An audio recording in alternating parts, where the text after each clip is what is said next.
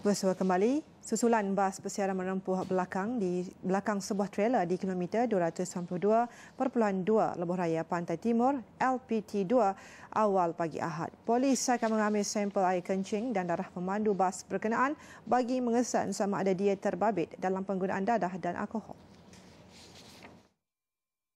Siasatan yang dijalankan berhubung dengan kejadian yang berlaku tersebut uh, ianya adalah lebih kepada faktor kemanusiaan di mana pemandu bas persiaran tersebut uh, didapati telah uh, melanggar lori yang sedang bergerak.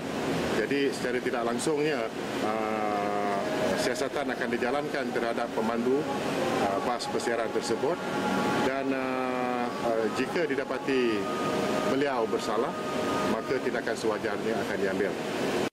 Beliau ditemui selepas melawat mangsa yang cedera di Hospital Kemaman. Menurutnya, tiga daripada mangsa termasuk pemandu bas persiaran yang mengalami kecederaan di bahagian kepala dipindahkan ke Hospital Sultanah Nur Zahirah, Kuala Terengganu untuk rawatan lanjut. Dalam kejadian kira-kira pukul 2.15 pagi Ahad, bas dua tingkat yang membawa 54 pelajar dan tujuh guru dari Sekolah Menengah Islam Hira Jeram, Kuala Selangor merempuh belakang sebuah trailer dengan muatan kayu. Rombongan berkenaan dalam perjalanan ke Universiti Sultan Zainal Abidin, UNIZA di Kuala Terengganu untuk program lawatan sambil belajar. Kemalangan di kilometer 292.2 Lebuh Raya Pantai Timur LPT2 mengakibatkan empat pelajar dan pemandu bas terbabit mengalami kecederaan parah.